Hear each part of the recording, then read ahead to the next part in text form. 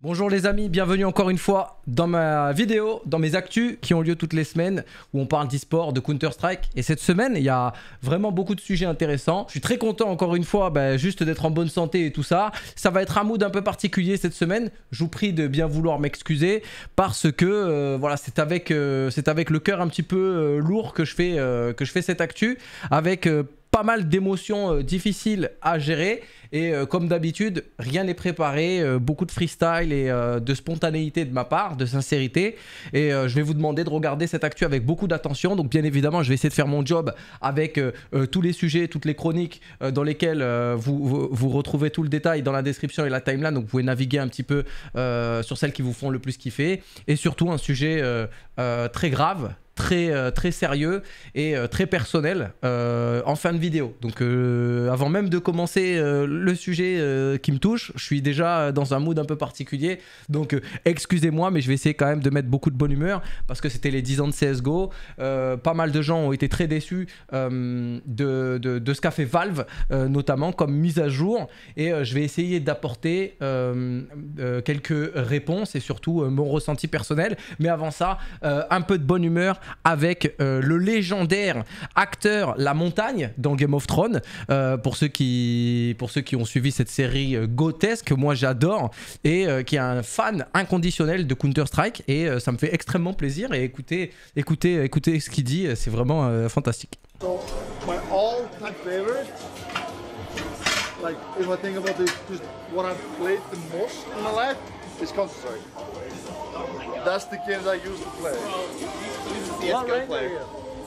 I have no clue to say. I barely, I barely play the game. Uh, I was like a B player. I was like. Donc il dit que voilà le jeu auquel il a le plus joué et qu'il a le plus euh, aimé, c'était Counter-Strike et qu'il est euh, naturellement un joueur du B. Voilà, grand gaillard comme il est, acteur légendaire euh, avec euh, une scène stratosphérique de duel. On va pas spoil les gens. Et d'ailleurs, il y a House of Dragon, le spin-off là qui est en train de sortir. Et vous, moi, je regarde ça avec beaucoup, beaucoup, beaucoup de, passion. Je vous le dis, j'adore. J'ai reçu aussi un petit message sympa. Moi, j'en reçois quand même quelques-uns très souvent sur mes réseaux, que ce soit Twitter, Instagram.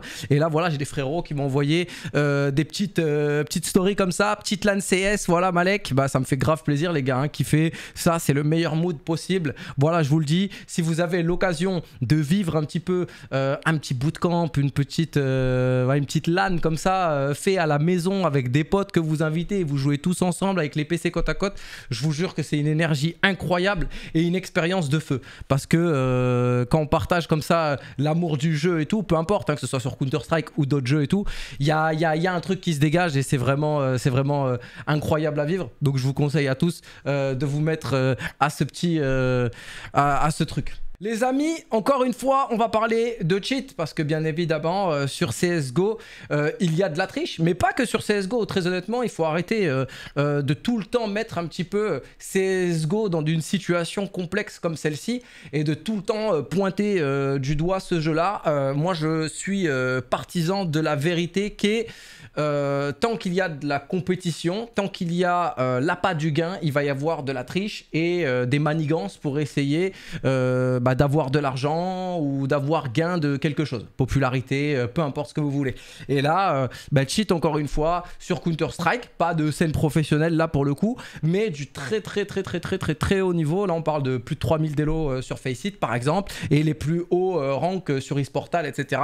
Avec quelqu'un qui a eu euh, j'ai envie de dire, l'audace euh, et pas de honte surtout de le faire en plein, euh, en plein stream.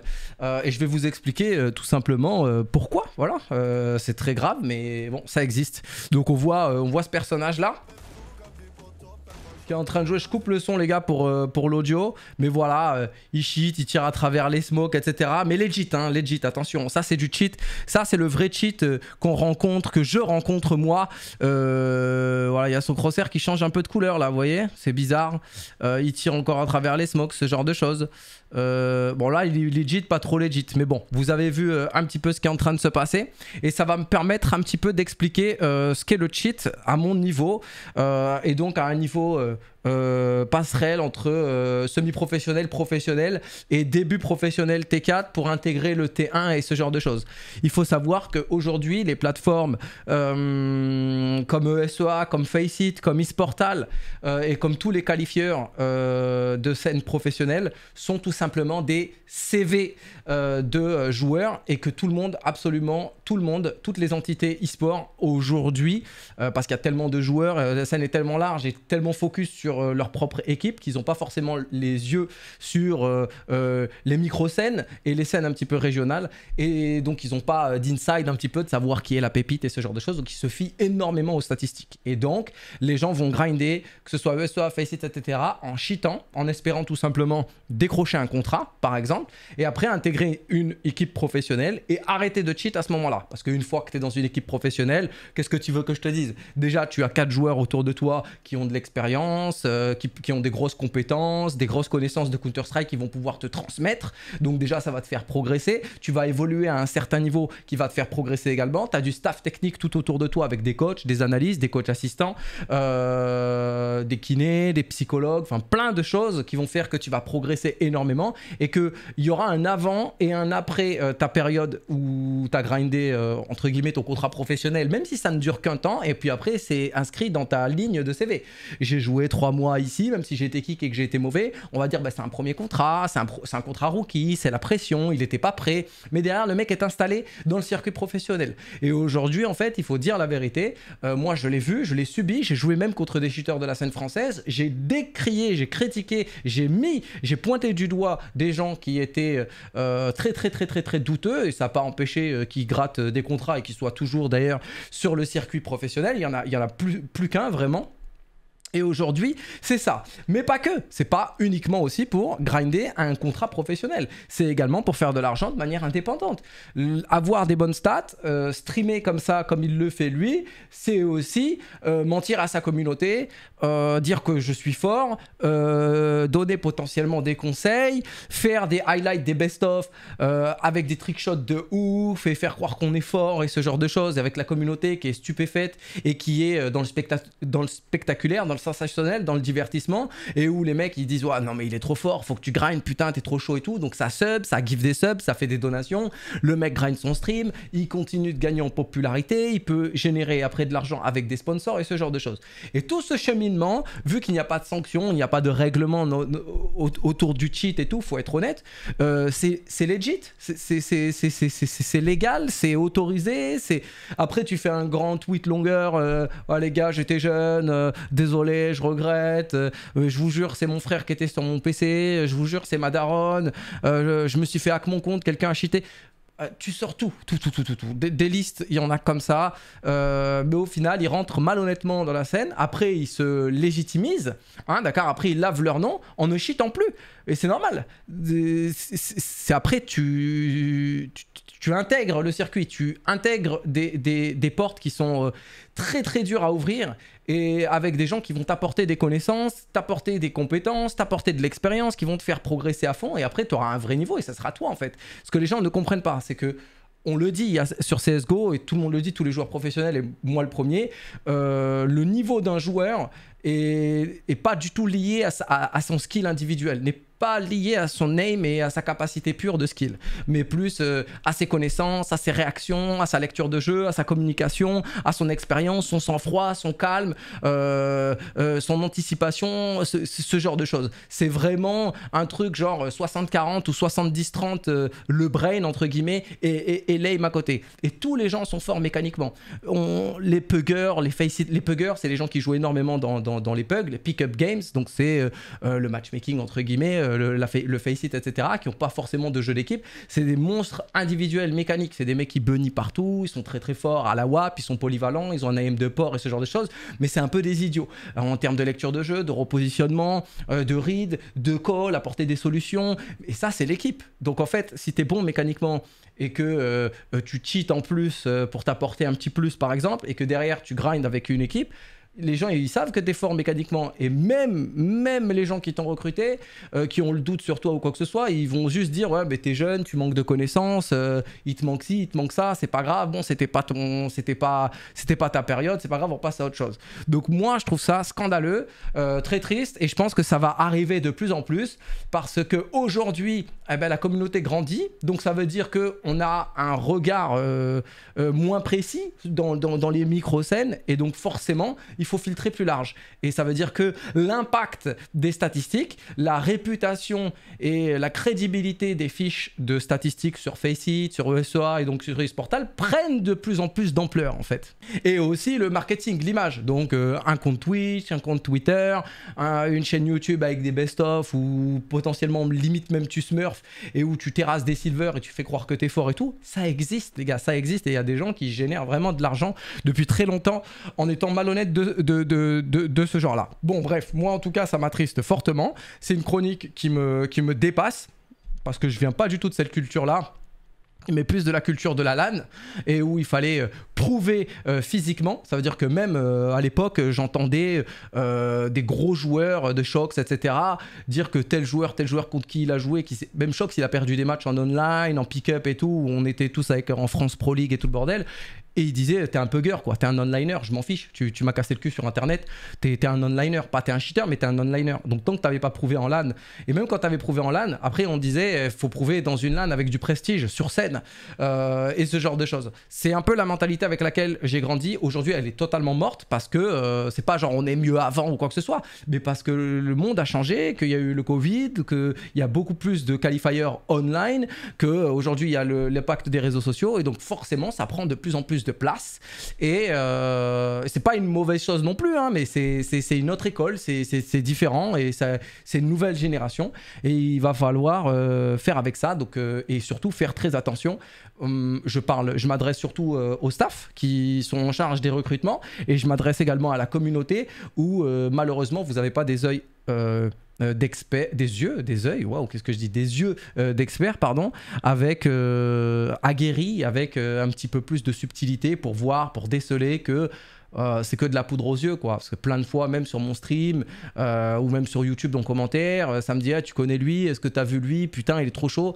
Et je sais que c'est des puggers monumentaux, voire des mecs douteux qui smurfent pour impressionner les gens sur TikTok et en short sur YouTube, quoi. Euh, voilà, continuez de vous abonner s'il vous plaît, euh, donnez de la fort. Une très bonne nouvelle, les amis, euh, quoique très bonne, mauvaise, je ne sais pas comment interpréter ça. Moi, je, prends, je, vais le prendre d'une manière positive, mais je vais aussi nuancer avec la partie négative de ça, ce qui veut dire qu'il y a un manque quelque part. Faceit vient d'annoncer leur nouvelle ligue Unranked 5v5. Voilà, donc en gros, à l'heure actuelle, quand vous allez créer un compte Faceit, bon déjà, je sais qu'il y a des gens qui connaissent pas forcément, mais Faceit, c'est quoi? C'est une plateforme euh, complémentaire, euh, parallèle à euh, CSGO, au matchmaking de CSGO. Vous, vous lancez CSGO, vous faites du matchmaking et vous jouez sur des serveurs qui sont de piètre qualité en termes de réseau, de netcode, de, de, de, de comment dire, de d'échange entre le serveur et le client. Euh, donc déjà, c'est pas ouf. Le système de ranking est un peu déséquilibré. Il y a beaucoup de toxicité. Euh, L'anti-cheat est pas ouf euh, et ce genre de choses. Faceit propose entre guillemets une une ranked avec un anti-cheat de meilleure qualité, des systèmes de sanctions un petit peu plus élaborés, des serveurs largement, largement, largement au-dessus de ce que propose Valve et le matchmaking, mais également le le knife round pour commencer les games et ce genre de choses. Mais avant, c'était avec le rank. Il y avait l'Elo qui était en jeu. Et après, il y avait la Q en premium qui mène au circuit FPL et ce genre de choses. Et là, ils viennent donc euh, d'annoncer le 5v5 Unranked dans lequel l'Elo ne sera pas impacté. Je trouve ça super intéressant. Même pour moi, par exemple, qui veut faire une ou deux games de chauffe, euh, une ou deux games avec des game viewers, par exemple, où il n'y a pas d'élo en jeu et ce genre de choses. On peut faire vraiment des games fun en, joignant les lobbies facilement avec un anti-cheat et ce genre de choses de meilleure qualité. Je dis pas qu'il n'y a pas de shit sur Faceit, hein. attention.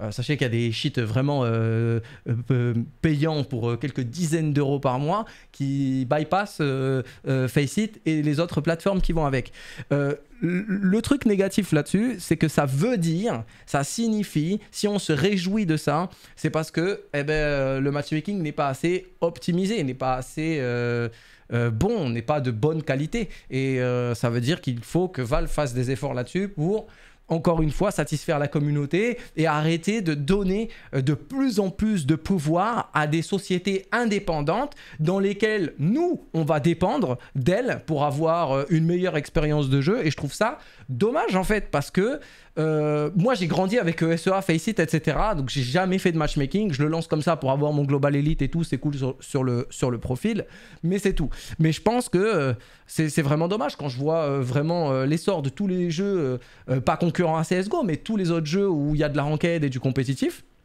leur système intégré qui est euh, totalement géré par les éditeurs eux-mêmes, donc Riot pour Valorant, EA pour euh, Apex euh, et ce genre de choses, bah, bah c'est pas trop mal quoi. Il y a des défauts bien, entendu, mais 99% des games, je pense, se jouent directement sur la plateforme du jeu et pas sur des plateformes, j'ai envie de dire, secondaires.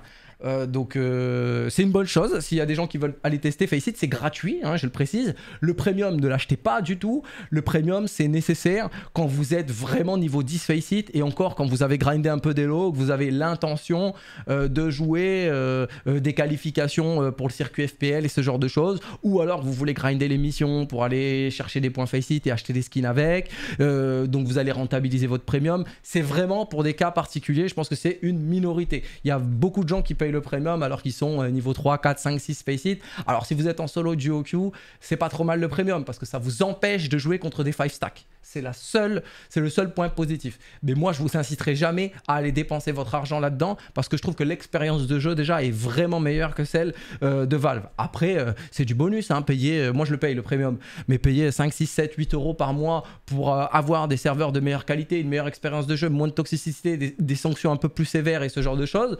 Euh, avec des supports et tout. Euh, si tout le monde euh, trouve son compte, bah franchement, c'est ultra positif. La communauté CSGO, c'est la meilleure. Et cette fois, j'envoie un gros bisou au Golden Hornet et à Joker plus précisément, qui nous a sorti une petite stat. Voilà, c'est lui qui s'est amusé à faire ce graphique. Donc merci beaucoup mon frérot, si tu veux bosser avec moi. Hésite surtout pas. D'ailleurs, tous ceux qui sont actifs sur les réseaux sociaux, qui voyaient un petit peu des news, qui voyaient un petit peu des stats et tout, n'hésitez pas à m'envoyer pour que je traite les sujets, bien entendu, si vous me donnez bien sûr vos, autorisations. donc là, on a par exemple un peu d'historique de CSGO euh, au niveau euh, des structures. Voilà, quelles sont les structures les plus prestigieuses? Quelles sont les structures vraiment qui ont dominé la scène Counter-Strike?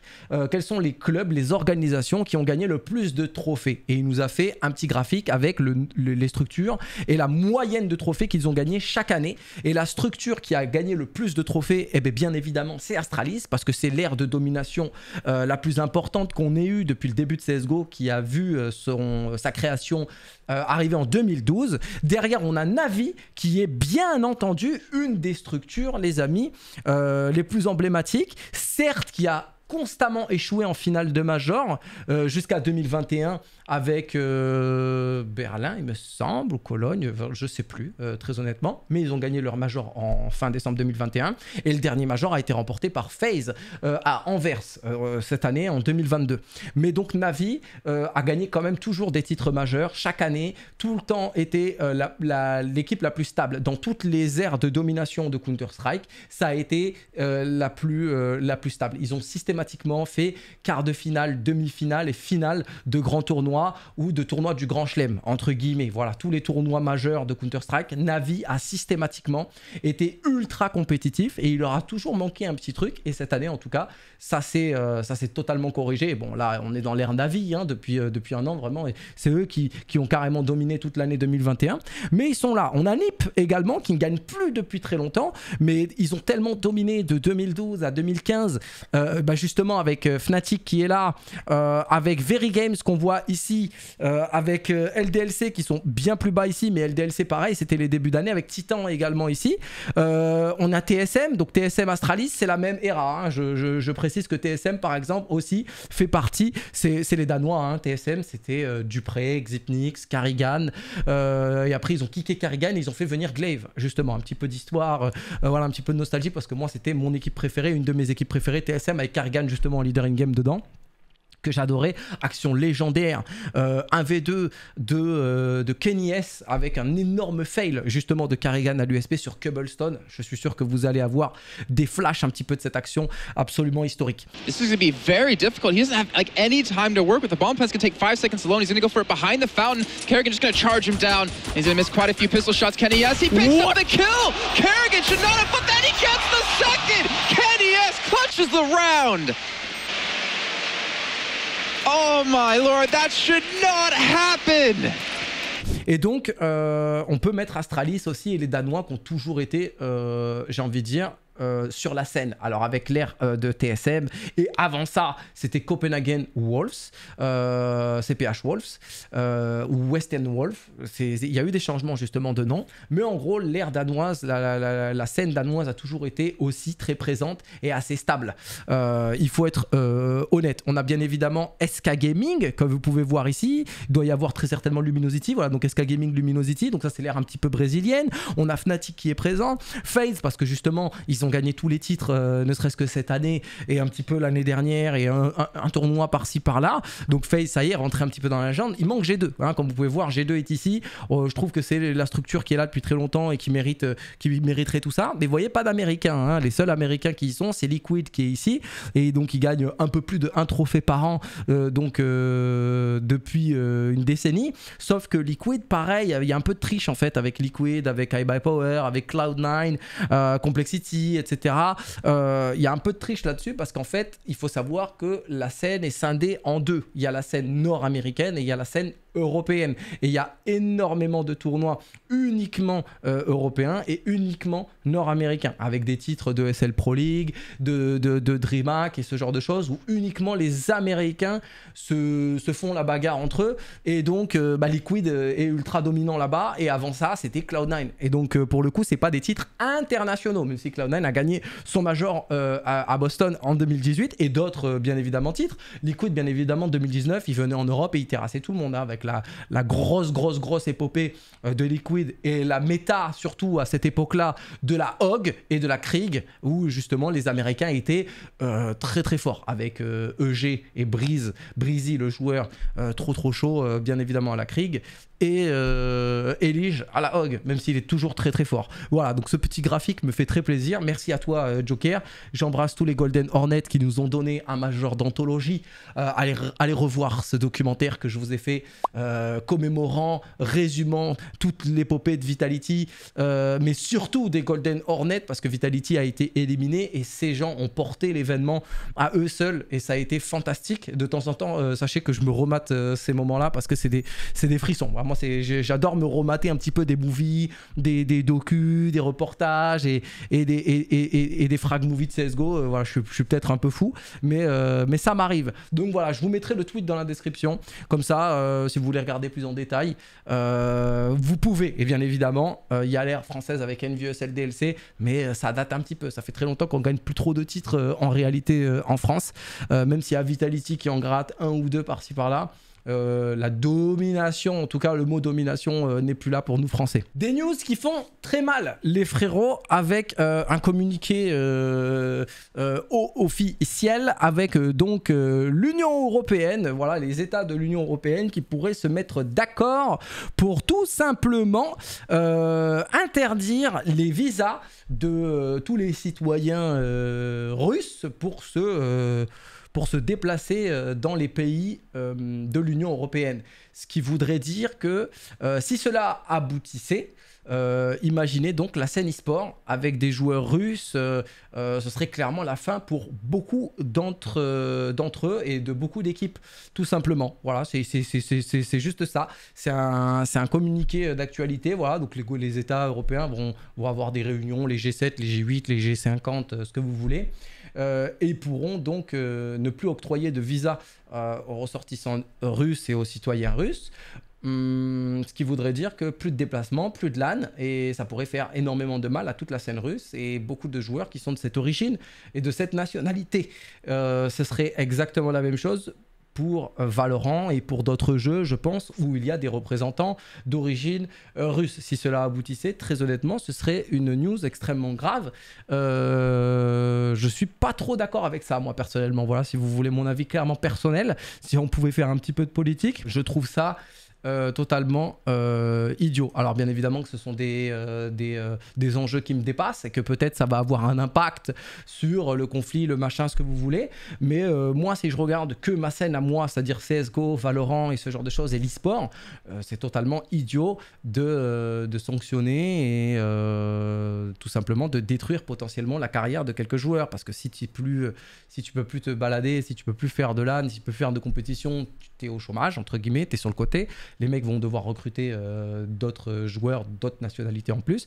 Et donc, ça voudrait dire que bah, t'arrêtes le jeu, quoi. Parce que euh, quand t'es plus en activité sur CSGO, on t'oublie très très vite. Hein. Mes frères, une super nouvelle que je vais pouvoir accentuer d'un peu d'inside. Bien évidemment, tout est à prendre avec euh, de la nuance, quoique c'est vrai, c'est faux. Très honnêtement, c'est vrai. Ça se trame depuis plusieurs mois maintenant sachez-le. Et euh, c'est comme un Tetris, vous voyez, où il faut emboîter un petit peu toutes les cases et que tout rentre. Il y a beaucoup de paramètres à prendre en compte, mais oui, c'est possible. K-Corp euh, devrait arriver euh, sur CSGO très bientôt, mais pas que. Solari également, Job Life également, et d'autres structures, parce que si ces entités-là viennent sur CSGO, eh ben, les, les, structures déjà en place sur CSGO vont devoir, vont pouvoir, vont vouloir certainement se renforcer parce qu'ils ont déjà plus d'expérience dans, Counter-Strike. Et donc, elles vont vouloir euh, un petit peu euh, les battre et montrer qu'elles sont là depuis plus longtemps, plus expérimentées et donc pas se laisser faire. Donc, ça va un petit peu galvaniser tous les clubs, j'ai envie de dire. Mais il y a également des clubs euh, qui n'ont jamais mis les pieds sur CSGO, qui sont très certainement plus petits que ces clubs-là, qui vont vouloir bien évidemment profiter de, euh, de, cette arrivée massive de clubs extrêmement populaires euh, sur cette nouvelle scène et donc eux aussi pourraient venir. On a les mots de Kameto euh, ici tout de suite que je vais derrière analyser et surtout argumenter. Ça a changé, t'as vu, maintenant on, est, commence à, à, être big big et du coup, bah, moi j'aime bien CSGO et, et je dis pas qu'on va y aller comme ça, je vous parle français, on va pas y aller dans les semaines qui arrivent. Hein. Mais on en discute en interne. Voilà, j'ai pas de date à vous donner. J'ai pas de, de truc en mode euh, on y va, on. Avant, on n'en discutait pas du tout en interne. Là, on en discute. Voilà, comme ça, vous avez des infos. On m'a souvent reproché le manque d'infos, etc. J'ai pas plus, frère. On en discute. Alors, moi, ce que je peux vous dire, c'est que déjà, euh, il dit qu'avant, ils en parlaient pas et tout. Euh, ça doit être très certainement vrai parce que c'est des vraies discussions. Quand il dit on n'en parlait pas, c'est genre des vraies discussions. Est-ce qu'on y va? Est-ce qu'on n'y va pas? Combien coûte cette scène? Est-ce que les joueurs sont accessibles? Ok, on va parler à un tel et ce genre de choses vraiment de manière concrète, c'est sûr, euh, s'il le dit, je lui fais confiance, c'est que euh, ça ne devait pas être le cas. Mais sachez qu'il en parle, euh, ça lui chuchote à l'oreille, ça essaie de lui attraper par le col, elle vient sur CSGO depuis très longtemps. Moi, je peux déjà vous donner une date, depuis fin novembre 2021, ils en parlent. Pourquoi? Parce que ça fait un an qu'un appel d'offres a été lancé pour la création d'une nouvelle ligue qui devrait arriver. J'en ai déjà parlé dans des, dans des actus précédentes. Donc c'est des processus qui, qui sont long terme c'est des processus qui mettent du temps à être mis en place parce que tout simplement, ça demande euh, beaucoup d'argent. Et l'argent, ça se trouve pas aussi facilement que ça. Euh, cette ligue devrait être créée euh, donc par CND, le propriétaire, le président, peut-être pas le propriétaire, mais le président de 1PV. et donc, ce qu'il fait, c'est que il a contacté tous ces gens-là pour dire venez sur CSGO, cette fois je vais faire une ligue parce que je sais que vous, vous appréciez le format un petit peu Riot parce que c'est un peu, un peu plus stable, c'est une scène plus pérenne parce que vous avez des slots entre guillemets franchisés, donc vous êtes sûr de pas euh, les perdre, et donc euh, ça va être ça. Sauf que si tu appelles que K-Corp, ça va pas forcément les intéresser, tu vois ce que je veux dire Et donc, euh, sachez qu'ils ont fait un appel également à toutes les structures, donc que ce soit Vitality pour faire peut-être une académie, parce que je suis pas certain que Vitality ait les calendriers et les ambitions de se battre sur une scène uniquement française, alors qu'ils sont les numéros 1 contestés, ils ont plus à perdre, je pense, parce que si ils losent un match contre des concurrents directs d'un calibre moins élevés, c'est la honte un petit peu pour eux. Donc euh, peut-être faire une académie pour eux en tout cas, euh, parce que c'est sûr qu'ils perdront un match. Même si Azivou, en confrontation directe, Vitality perdra très certainement des matchs contre du subtop français, parce que les matchs à confrontation directe, c'est du 50-50 sur des BO1, tout peut arriver, très honnêtement, avec l'antistrat, avec la préparation, avec des pistoles et des premiers rounds armés qui sont remportés, ça peut snowball très très vite, j'en suis persuadé. Et donc, Solari devrait euh, arriver, Job Life également, avec euh, cette promesse euh, que cette scène arrive, que ce, nouveau format arrive. Donc, ce serait une ligue avec 8, 10, 12 équipes. on a, j'ai pas les infos là-dessus, mais c'est ce qu'il veut créer, c'est ce qui devrait être créé, et donc avec des entités qui arrivent. Et s'il y a la garantie que bah, si Kakor vient, bah, Solari vient, si Solari vient, il y a LDLC aussi dedans, puis il y aura Falcon, puis il y aura hit euh, et ce genre de choses. Et donc, ça pourrait prendre place en 2023. Je rappelle qu'il y a des joueurs qui seront euh, plus bloqués euh, cette fin d'année, où les contrats vont pas tarder à se terminer et donc les buyouts commencent vraiment, vraiment, vraiment, vraiment à être intéressants pour des structures qui voudraient mettre les pieds sur CSGO avec euh, notamment euh, Kenyes, le kick est disponible, euh, Falcon, Hit, c'est pas des c'est pas des contrats qui sont durs à racheter pour certains joueurs, donc il y a une construction qui peut être faite. Maintenant, à savoir si ils veulent mettre les pieds sur Counter Strike de manière à vouloir concurrencer le tiers international, ça j'y crois absolument pas. Je pense qu'ils voudront y mettre un pied avec avec le, le, moins de coûts possible et construire sur du euh, très long terme pour y aller chill, que euh, la communauté euh, se familiarise avec ce jeu, se familiarise avec les joueurs, avec les staffs et que ça aille sur du long terme. Surtout parce que c'est CSGO, c'est une scène qui est pérenne déjà, qui est très stable, avec des calendriers très, très, très, très, très, très, très, comment dire, euh, exigeant parce qu'il y a beaucoup de, compétitions, il y a beaucoup de qualifiers, euh, c'est des, des, compétitions très difficiles à atteindre et donc euh, des échecs, il va y en avoir, j'en suis absolument sûr à 100%. J'ai aucun doute là-dessus. Et donc il vaut mieux y aller sans ambition, entre guillemets, ou alors avec des ambitions officieuses, pas forcément publiques. Et donc on pourrait voir l'arrivée, je pense, 2023 de cette ligue et de ces équipes qui pourraient arriver. Comme j'ai dit, c'est à prendre avec des pincettes parce que c'est des paramètres complexes qui doivent totalement être mis en place de manière exacte et précise. Ça veut dire qu'il faut que Kakor vienne, que Solari vienne, que Joblife vienne, que Hit euh, vienne dans la ligue. Bon, ça, il n'y aura pas de souci. Que Falcon vienne, que LDLC vienne, que Vidality potentiellement fasse une académie. Ou alors que eux acceptent de vouloir se taper avec eux. Et bien évidemment, toutes les autres équipes du subtop, c'est-à-dire Embouche, Exalti, Webspell et ce genre de choses. Donc ça pourrait faire une ligue à 10, 12, 10, 12 clubs. Euh, le format, on ne sait pas. Les dates, on ne sait pas. Euh, est-ce qu'il y aura des finales là? On ne sait pas. les co-casts, etc. C'est sûr à 100% qu'ils seront autorisés. Euh, parce que ça n'a aucun intérêt qu'un PV euh, demande l'exclusivité ou ce genre de choses. Je pense pas du tout qu'ils aient cette mentalité-là. Eux, ils voudront potentiellement faire un cast euh, bah, professionnel avec des casters, chemise, cravate et tout. Et vous, bah, vous faites ce que vous voulez. Solari, vous faites ce que vous voulez. Gen 1, par exemple, avec ARL aussi, c'est sûr et certain qu'il aura un pied dedans. Et ce genre de choses. Donc, c'est là où je vous dis, c'est vrai, mais ça peut totalement c'est fragile en fait. Tout peut tomber à l'eau euh, ou alors être euh, remis à plus tard euh, parce que il y a une équipe qui peut pas et ce genre de choses. Donc c'est pour ça que je pense que tout le monde va devoir se mettre vraiment au bord d'une table et dire ok on veut target quoi, c'est quoi nos objectifs, les, les budgets parce qu'il y a de l'ego aussi derrière et s'il y a un club qui dit ah mais non moi je mets le paquet, je vais tous vous terrasser, les autres ils vont pas vouloir forcément perdre la figure et c'est leur dire bah, bah non ça nous intéresse pas, soit on commence tous d'une même base et on se bat avec euh, toutes les armes euh, et après on verra sur du long terme qui euh, prend le dessus et ce genre de choses. Mais le mieux c'est de créer un truc pérenne, sur du long terme, stable, et que la part du gâteau euh, grossisse de plus en plus, et qu'après on puisse tous se partager à part égale, ou, euh, peut-être après avec des parts plus, plus importantes pour les plus gros acteurs et tout. Ça, c'est une possibilité, mais au début, moi en tout cas, je le vois comme ça. Tout ça, c'est mon interprétation, les gars,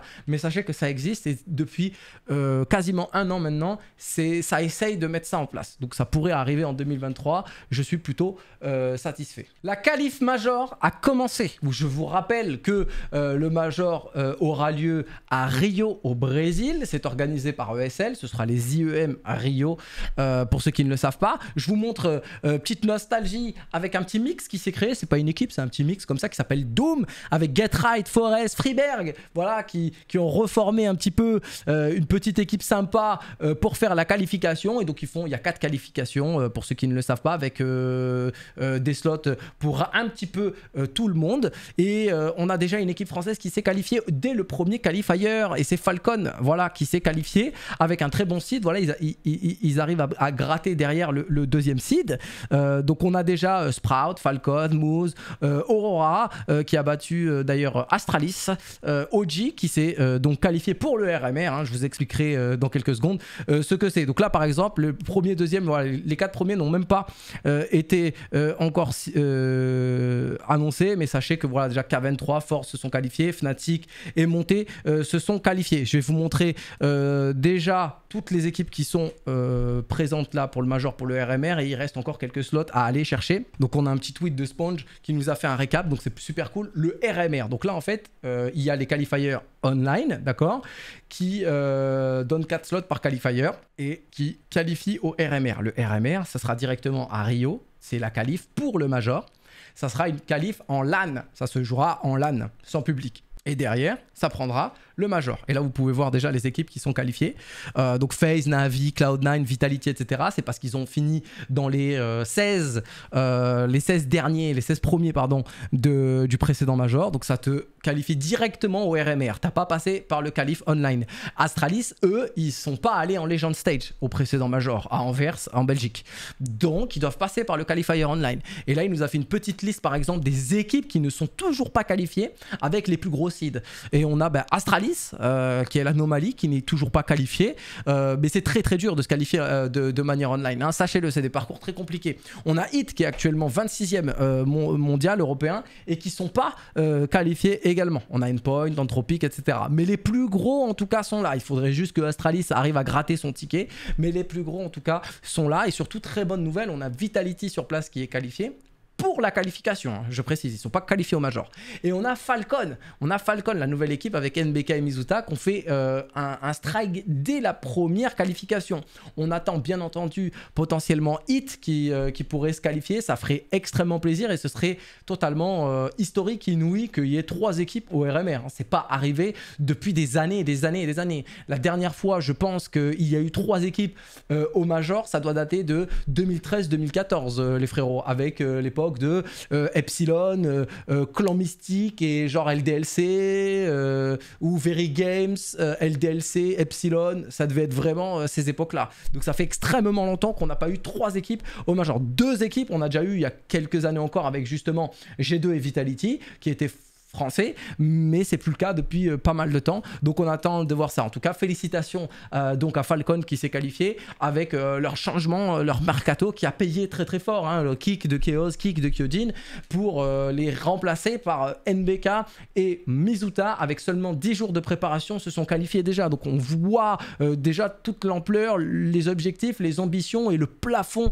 qui est totalement infini pour cette nouvelle équipe française. Ça fait vraiment extrêmement plaisir. Sujet fâcheux, les amis. Fâcheux parce que moi, je suis en colère. Ah, bah, C'est moi qui suis en colère, personnellement. Alors, euh, la sauce, la sauce euh, a été euh, lourde et longue euh, pendant vraiment plusieurs jours pour Team Vitality qui a fait l'annonce bah, de l'arrivée de Spanx parce que Mizuta a été kické et donc ils ont fait une annonce officielle. Alors déjà, ah, déjà, je- là c'est moi, ça n'engage que moi, j'ai été extrêmement déçu de l'annonce de Vitality. hein. Voilà, c'est juste un tweet avec une petite photo comme ça de Spanx et ce genre de choses. Donc moi personnellement, ça fait longtemps qu'on le sait que Spanx allait rejoindre Vitality, etc.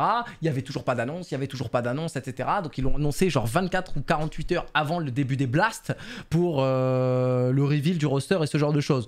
Je suis extrêmement déçu hein, parce que je m'attendais vraiment à une petite. euh, voilà, Vitality d'habitude.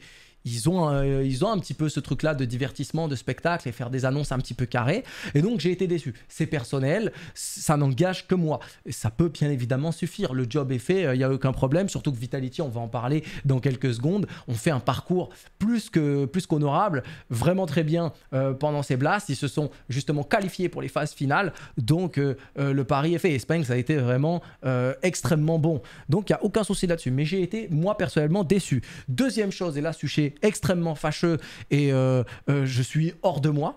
Je, je, je, vous le dis. donc là on a donc la nouvelle, le tweet de Vitality qui dit We are starting a new era. Voilà, nous, nous commençons une nouvelle ère avec un drapeau français, un drapeau danois, un drapeau israélien et donc le drapeau européen. Il faut savoir que il y a des règles dans Counter-Strike. Il y a un règlement, il y a une loi définie pour absolument tout le monde qui met les acteurs de Counter-Strike sur un même pied d'égalité. C'est euh, la règle des mathématiques. 1 plus 1 égale 2. Quand il y a trois joueurs d'une même nationalité dans une équipe, ça fait la majorité sur 5. Et donc, cette équipe prend donc l'étendard de ces trois joueurs. Quand il y a donc deux Français, Zibou Apex, deux Danois... Euh, euh, du pré-Madisque, eh ben, ça fait 2 et 2. C'est 50-50. Et donc, ça prend une nationalité européenne et donc un drapeau européen. 4, c'est plus que 1. Spanks est donc israélien, c'est sa nationalité, il ne l'a pas choisi. Tous les rosters de ce monde de Counter-Strike depuis plus de 20 ans et également très certainement sur d'autres scènes ont toujours affiché les drapeaux des nationalités de ces euh, joueurs-là. Et euh, donc les gens ont été extrêmement virulents, extrêmement toxiques, extrêmement racistes en rappelant les euh, conflits des pays, euh, voilà, vous savez très bien, euh, qui n'ont pas forcément lieu d'être les gens me sont tombés dessus parce que j'ai dit, euh, les gars, vous êtes dégénérés, c'est comme ça que ça fonctionne depuis 20 ans sur Counter-Strike. Ils, montrent les trucs et ils ont dit, ouais, mais la Russie, ça y est, ils affichent plus le drapeau russe et, ce genre de choses. Mais ça, c'est parce que c'est un, association, c'est un conglomérat de tous les pays qui se sont mis d'accord pour que ce soit le cas. Et derrière, bah, les entités se plient à ces nouvelles règles parce que c'est au-dessus d'elles. Quand ça arrivera pour ces pays-là, mais comme ces pays-là sont alliés des plus grands pays et ce genre de choses, bah, pour l'instant, ça n'a pas lieu d'être oui, c'est injuste, le monde est injuste et c'est comme ça, les gars, on n'y peut rien. Mais après, le Spanx, il s'est pris des insultes à tout va, euh, ultra raciste, euh, alors que lui, il a rien demandé, il est là pour jouer à Counter-Strike. Euh, on montre un visage de la France pas très, euh, pas très joli, joli, je pense. Et croyez-moi, le racisme et tout ça, je connais. Euh, donc, euh, je trouve ça un petit peu scandaleux, personnellement. C'est aller loin pour rien, sauce monumentale. Et en plus, et en plus, ils ont annoncé donc leur nouveau sponsor également et leur nouveau maillot. mes amis de Vitality et ils se sont associés donc à un site de Paris e-sport, GGBet. Et euh, les gens ont dit euh, c'est scandaleux, euh, moi je quitte l'étendard, je quitte le bateau, le bateau Vitality parce que je suis contre ça, il y a des vies qui sont ruinées, le jeu c'est pas bien, blablabli, blablabli, blabla. Le discours habituel. Il faut savoir que euh, sur Counter-Strike, c'est extrêmement dur d'avoir euh, du sponsoring euh, parce que le jeu est interdit au moins de 16 ans. Vous allez me dire, mais Valorant aussi, c'est interdit au moins de 16 ans. Oui, mais les abrutis du marketing, que voulez-vous qu'on y fasse? C'est des abrutis en fait. Une Kalachnikov, pour eux, c'est dangereux. Une Vandal, pour eux, c'est pas dangereux en fait. Donc je n'y peux rien. Une bombe, pour eux, c'est dangereux. Donc un C4, une bombe. Par contre, un Spike, ben, c'est pas forcément dangereux. une flashbang, c'est une flash de militaire. Euh, par contre, un, chien de Sky, une flash, un loup de Reina, euh, je sais pas quoi, bah pour eux, c'est pas dangereux. C'est des abrutis, on n'y peut rien. C'est juste que sur CSGO, que voulez-vous que je vous dise euh, On sera toujours euh, derrière, et surtout en France. On a un pays d'arriéré, on est un pays euh, pas innovant, on est un pays qui a 50 ans de retard sur la culture du marketing, de, du, divertissement et ce genre de choses. Et eh ben ça continuera, ça continuera quand on voit les pays scandinaves, donc tous les pays nordiques, mais également les pays américains et d'autres pays, même la Russie et ce genre de choses, qui font des partenariats avec euh, les plus grands clubs e-sport. Ils sont, euh, ils sont dans les parlements, euh, ils, sont, ils sont invités dans, au Sénat avec des, premiers ministres et tout ce qui va avec, et qu'ils font des partenariats marketing avec des marques et tout. Que voulez-vous que je vous dise? On est juste 50 ans derrière. Et puis c'est tout. Et on est en train de se battre. Et c'est ça, et ça doit commencer par ça. Alors je peux comprendre qu'il y ait des gens qui soient totalement contre euh, le pari euh, parce que c'est addictif, parce qu'il y a plein de mauvais côtés. Oui, on peut rappeler que c'est interdit au moins de 18 ans de parier que ce que vous pouvez et ce genre de choses. Euh, c'est fait systématiquement dans le cadre de la légalité ce genre de trucs. Il faut savoir que normalement ce site est interdit en France, il n'est pas accessible parce qu'il n'est pas, comment dire, la Française des Jeux n'a pas sa licence ou je sais pas quoi avec eux. Mais c'est comme ça. Au moins Vitality, bah, ils, ont des, ils ont reçu des fonds, surtout qu'il y a leur investisseur, je crois, euh, qui s'est barré avec la caisse ou un truc comme ça. Donc ils sont un peu dans la sauce. Euh, voilà, donc pas mal de mauvaises nouvelles euh, ces derniers temps, les amis, mais que voulez-vous, c'est la vie. N'hésitez pas à vous exprimer là-dessus. Mais en tout cas, pour l'histoire des drapeaux et ce genre de choses, aujourd'hui, Vitality est une équipe européenne parce qu'il y a 4 joueurs européens et un joueur non européen dedans. Ça fait, euh, ça fait 4 joueurs européens. C'est aussi simple que ça. Team Liquid ou je ne sais pas quelle équipe américaine qui ont des drapeaux américains alors qu'il y a 3 joueurs européens dedans, on dit que c'est des Américains. Pourtant, il y a deux joueurs, il y a deux joueurs européens dedans. Ça n'a aucun sens euh, ce qu'on dit, Vra- vraiment. C'est- juste les règles qui sont, qui sont les règles et elles sont vraiment là pour tout le monde euh, en plus. Le retour de Device. Voilà, on a breaking news. Euh, donc Jackson qui nous dit que voilà, Nip a offert Device, a parlé déjà avec des gens pour, pour, pour laisser Device partir. Sachez qu'il a été acheté 1 million de dollars. C'est le plus grand transfert de l'histoire de Counter-Strike. Et que à l'heure actuelle, bah, il n'a pas joué depuis 8 ou 9 mois euh, maintenant. Un, des meilleurs joueurs de tous les temps de Counter-Strike, un des joueurs les plus réguliers, un des joueurs qui a le plus grand palmarès, un des joueurs qui a gagné le plus d'argent sur Counter-Strike également, un gâchis monumental. Pourquoi? Bah, Parce qu'il se sentait pas à l'aise là-bas. Bon, vous la connaissez l'histoire, hein, il est parti vivre en Suède par rapport à sa meuf. Sa meuf, d'un coup, elle l'a quitté. Euh, donc, il se retrouve en Suède dans la merde avec une équipe de. Enfin, pas de merde, mais une équipe. euh, voilà, enfin, à la base, il est allé chez Nip par rapport à sa meuf parce que il voulait vivre avec elle euh, donc à Stockholm et ce genre de choses. Euh, donc, euh, retour Danemark pour le frérot et ce genre de trucs. Et il faut savoir donc qu'il y a eu donc un clash administratif, bien évidemment, parce que Nip bah, ne voulait pas forcément le libérer parce qu'ils allaient perdre beaucoup d'argent. Bah, là, ils vont continuer de perdre de l'argent en fait parce qu'ils ont vu que bah, Device il fait quoi? Bah, Il fait des faces toute la journée. Il est engagé donc une compétition. Il joue plus avec Nip depuis, bah, depuis qu'il est arrivé en fait. Voilà, il a dit euh, bah, moi je joue pas avec vous. Et donc désormais ils vont le vendre une somme à 6 chiffres. Voilà, et euh, donc la somme à 6 chiffres au lieu de 7 chiffres. Donc ils sont en perte d'argent monumentale. Potentiellement qu'il a été acheté 1 million de, dollars et là qu'ils voudraient le revendre pour 600 000 à peu près. Euh, et euh, Bubsky s'est euh, prononcé là-dessus et je suis totalement de son avis. Bubsky, ancien joueur Astralis, ancien coéquipier euh, de Device notamment. Et il a dit il y a très peu euh, d'équipes euh, qui euh, ont besoin d'un AWAP en ce moment. Et si vous ajoutez le fait euh, il, coûte donc 600 000 dollars à l'heure actuelle, c'est extrêmement limité les choix donc de où il pourrait rebondir.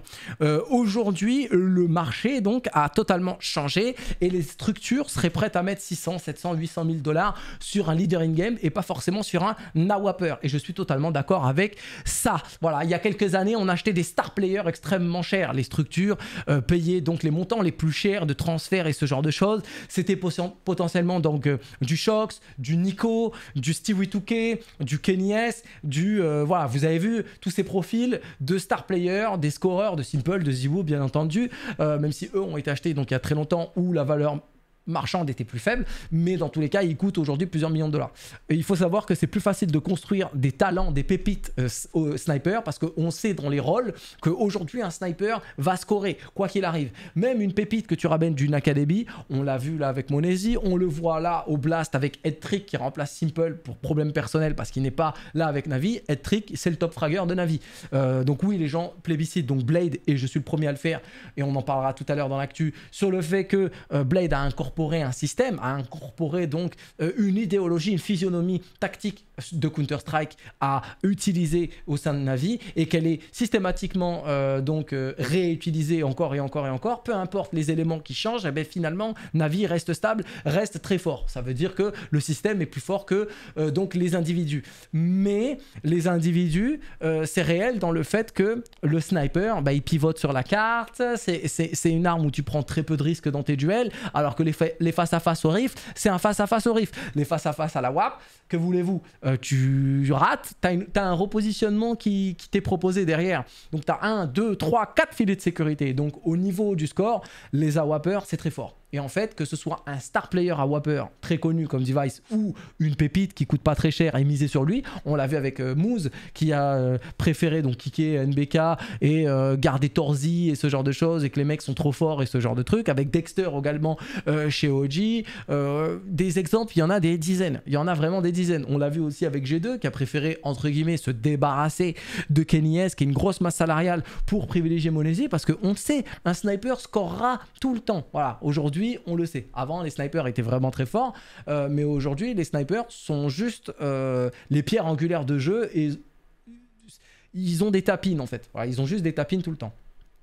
Et donc, c'est très compliqué aujourd'hui, je pense, pour Device de rebondir avec sa valeur marchande et Nip qui bloque et ce genre de trucs. Alors, ça reste un joueur extraordinaire. Il est bien meilleur que Monesi. Il est bien meilleur que Dexter, selon moi. Beaucoup plus complet, beaucoup plus expérimenté. Il apporte quelque chose dans une équipe d'extraordinaire, un calme, des connaissances, de la sérénité, euh, pas mal également de confiance, de d'aura un petit peu pour ses adversaires. Il fait peur, euh, Device, très certainement plus que, que, que, que, que d'autres.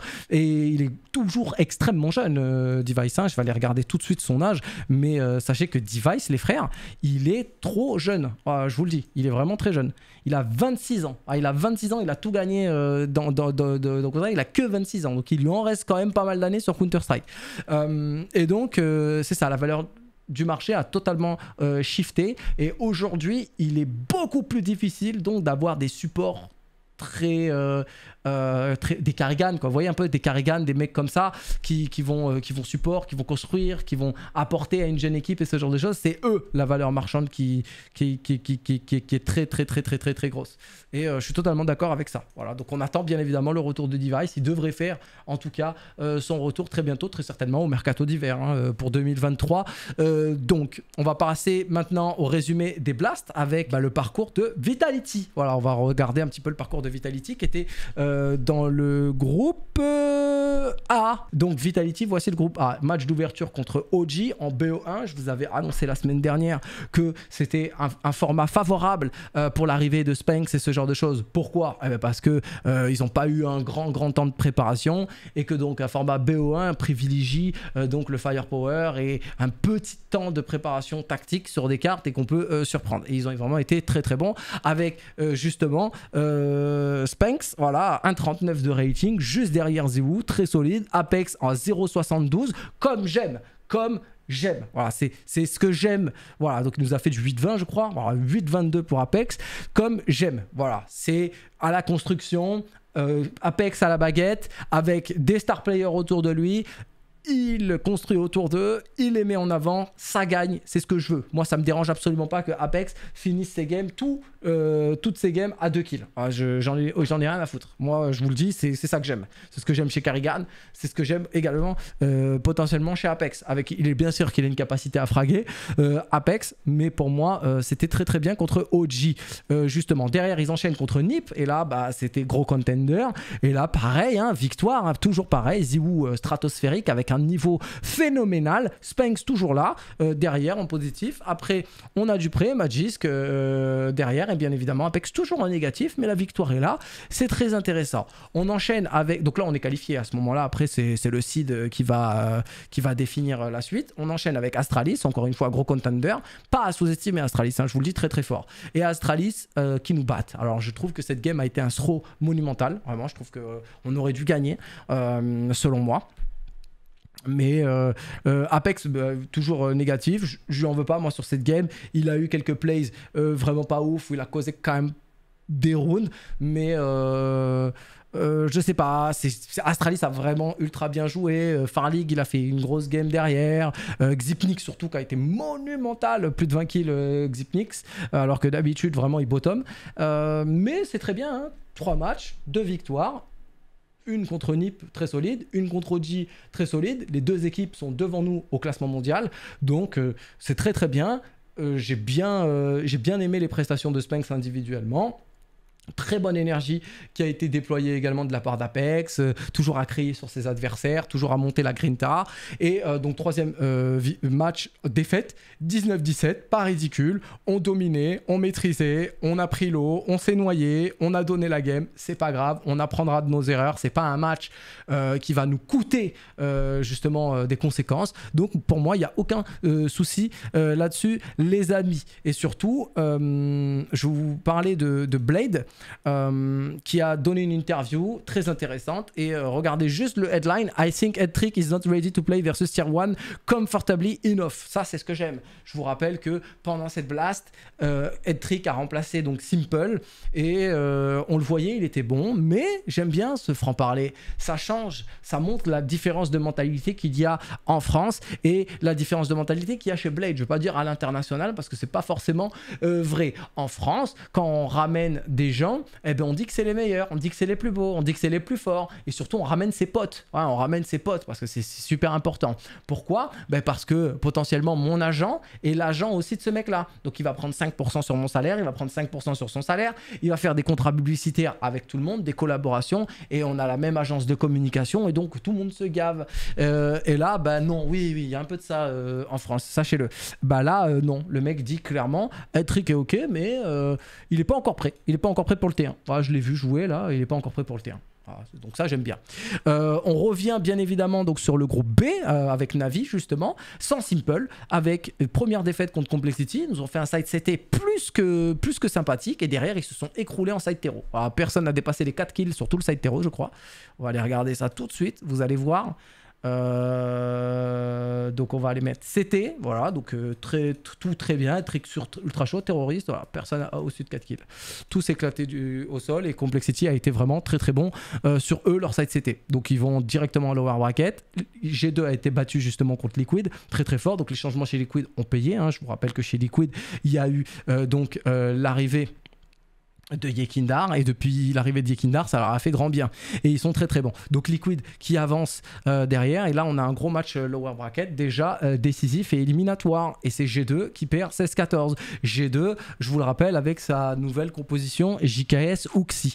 Donc c'est pas bon du tout. Derrière Navi donc continue. Complexity il les terrasse. Et après hop ils remettent 16-4 donc Navi premier de groupe sans simple stratosphérique un head trick d'un très très bon niveau. Le système fonctionne Blade est le meilleur euh, coach de tous les temps, Euh, en tout cas en termes de système, tactique, etc. Je pense qu'il a vraiment son physionomie, son idéologie. Après, voilà, c'est l'emblème de Navi, il a la confiance de la structure, Euh, il fait les recrutements en fonction de son pouvoir et il sait très bien qu'il va pouvoir, comment dire, euh, le mettre en place et qu'il va pas avoir de bâton dans les roues avec potentiellement des joueurs qui vont le remettre en cause, avec euh, forcément la structure qui va le remettre en cause et ce genre de choses. Donc il est vraiment dans une atmosphère totalement, totalement confortable, connu. Voilà, il est à l'aise, il y a aucun souci, il peut vraiment être épanoui dessus. En tout cas, très triste parcours de G2 donc euh, qui qui galère toujours. On attend vraiment de, de relever la tête de l'eau. Le groupe C ensuite avec FaZe, avec FaZe comme vous pouvez le voir ici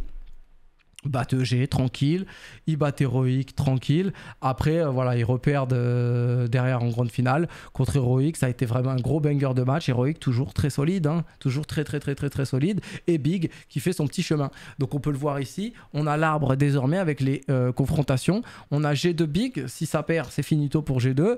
Euh, c'est les sites, comme je vous l'ai dit, qui étaient, qui étaient appliqués. Ça va définir des places pour aller au final des, des comment dire, des. Au final des blasts. Là, c'est le blast euh, spring et euh, ça va définir les places pour aller euh, au final blast qui auront lieu en LAN dans le public, etc., etc., etc., etc. Joyeux anniversaire Counter-Strike Et oui, le 21 août, c'était donc les 10 ans de Counter-Strike Global Offensive. On s'attendait à quelque chose, on a été déçus comme d'habitude. Et moi le premier, parce que j'ai fait monter la sauce. Voilà, j'ai fait monter la sauce, j'ai fait plein de vidéos, teasing, il y a pas mal de choses qui pouvaient nous laisser croire que ça pouvait arriver, et ça n'est pas arrivé. Attention, je vais remettre de l'huile sur le feu, je vais rallumer euh, le flambeau parce que c'est possible que ça arrive tout de même en fin d'année parce que j'ai eu, euh, j'ai rien eu du tout. C'est juste que quelqu'un m'a dit quelque chose et je me dis, bon, ah, c'est vrai que ta théorie peut être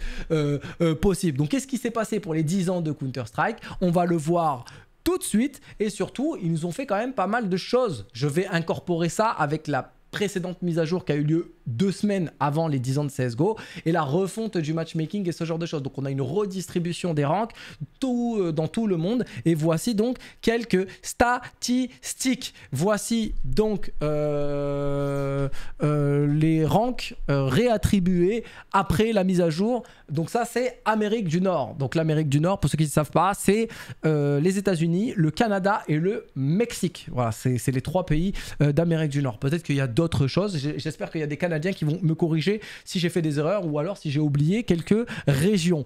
Donc on a 1% de Global Elite. Sachez qu'avant, le Global Elite, c'était un pourcentage un petit peu plus grand. Et surtout, vous voyez que euh, la grande majorité des ranks euh, se situe entre euh, Silver, je sais pas combien, 4, ça, je sais pas, ça doit être Silver 4 ça, à, à Sheriff quand même.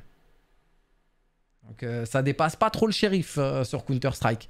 On a euh, ici les Européens. Ah, les Européens, on est plus fort. Vous voyez bien la différence de graphique. Amérique, Europe. Donc nous, les Européens, on est beaucoup plus chaud que les Américains. Ça, on peut le dire. Donc déjà, il y a plus de globalité comme vous pouvez le voir. Et surtout, bah, il y a un petit décalage. Ça commence pas à silver machin, ça commence à silver avec, la, avec le cap en plus. Et ça va jusqu'à pigeon. Hein. vous voyez, ça va jusqu'à pigeon avec beaucoup plus euh, voilà, de, de, gens ici. Donc on a l'Océanie également avec 0,8% euh, de Global Elite, très peu de joueurs et ce genre de choses. Euh, et voilà, donc ça c'était plutôt cool. La mise à jour des 10 ans, qu'est-ce qu'elle a apporté? Elle a apporté des nouvelles maps, voilà, une capsule de stickers et des poulets, et des poulets qu'on tue avec des, des confettis et, c'est tout. Donc bon, par contre les gens étaient contents parce que Tuscan est disponible. voilà la map un petit peu que tout le monde appréciait sur 1.6, mais elle s'appelait CPL 1000 je crois sur 1.6 et, euh, et euh, sur Source c'était bien évidemment euh, Tuscan donc je suis un peu dégoûté. Dans les stickers voici ce qu'ils nous ont proposé à Conspiracy Source 2 Club. Ah, je vais acheter ce sticker et je vais en distribuer à des gens je pense. Donc commentez donne le sticker et je vais vous offrir des stickers. Voilà je suis un peu dégoûté. Je suis un peu dégoûté. Valve se fout de ma gueule. La news qui est intéressante c'est que euh, il nous annonce, euh, et alors la semaine dernière, je suis très content parce que la semaine dernière, euh, dans ma vidéo CSGO 2, est ce qu'on devrait améliorer dans CSGO 2, ce que je pourrais vouloir de Counter-Strike avec justement des améliorations, allez la regarder, je vous en prie, parce qu'elle est super intéressante. Et, et, je pense que tout le monde a apprécié parce que j'ai regardé vos commentaires et vous étiez plus ou moins d'accord avec ce que je voulais implanter dans Counter-Strike et vous avez apporté pas mal de précisions également et pas mal de choses. Euh, et je parlais justement de Dota 2, CSGO en disant que euh, CSGO, Valve le soutenait justement pendant les majors. J'avais à vue de nez estimé le support de CSGO de Valve à CSGO à hauteur de 25 millions. J'avais dit 25 millions. Bon, bah, sachez que c'est pas 25 millions, c'est 35 millions. Voilà, donc on a les statistiques désormais et les montants. Voilà, c'est un communiqué de Valve euh, directement qui nous ont dit que ces 12 derniers mois, jamais Counter-Strike n'a été aussi populaire. Plus de 20 millions de joueurs euh, quotidiens. Voilà, donc ça fait quasiment 1 million de joueurs par jour. Euh, et il y a eu deux majors entre temps. Donc le major en vert, c'est l'autre major, je sais même plus où est-ce qu'il a été, euh, gagné par Navi. 70 millions ont été mis sur la table par Valve. Oui, c'est juste que c'est deux méthodes, c'est deux euh, supports différents. Sur Dota 2, c'est un support direct où les gens ils achètent le, le, sticker et donc ça va directement dans le cash prize. Donc on voit le cash prize du tournoi The International à 35, 40, 50 millions de, de dollars. Mais sur CSGO, c'est que 1 million de dollars le cash prize. Sauf qu'en fait, l'argent que génèrent les stickers pour les structures, mais également pour les joueurs en, guise d'autographe et tout, eh ben c'est 35 millions par major. Donc c'est phénoménal. Sachez que quand on se qualifie à un major, on a une structure prend 400 000 dollars. Moi j'avais estimé ça à 400 000, 500 000 dollars, donc ça doit être même un peu plus désormais. Quand on est en légende, très certainement. Quand on est en challenger, ça doit être un peu moins. Euh, donc 400, 500 000 dollars. Donc si on se qualifie à un major, c'est de l'argent qui est euh, garantie par Valve, donc c'est une forme de soutien également, c'est une forme de franchise un petit peu, euh, mais il faut se requalifier. Donc ça, j'aime bien ce, format où tu dois te, démener un petit peu pour rester compétitif et rester au top de ta forme et renouveler un petit peu ton roster si t'es pas là, si t'es t'es là. Donc l'enjeu de se qualifier à un major, c'est vraiment colossal. Et après, il y a les stickers. Et euh, je vous ai appris la semaine dernière que c'était euh, plus de 250 000 dollars par joueur. Face avait annoncé que, euh, bon, après c'est eux qui ont gagné le major, donc ça a été l'équipe la plus popula- populaire, donc ça a été la capsule de stickers la plus achetée. Mais c'est plus de 250 000 dollars par joueur qu'ils ont pris. Donc euh, c'est 1,5 million euh, qu'ils ont gagné à se partager.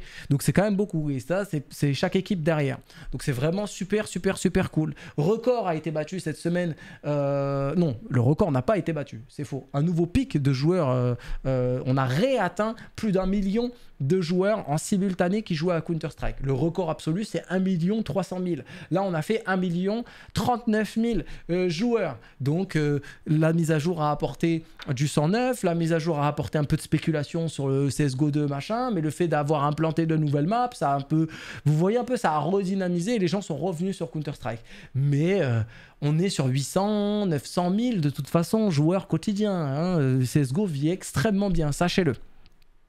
On a euh, un tweet officiel de la part de CSGO qui dit euh, voilà, euh, aujourd'hui, il y a 10 ans, Counter-Strike Offensive a été donc révélé à, tout, le monde.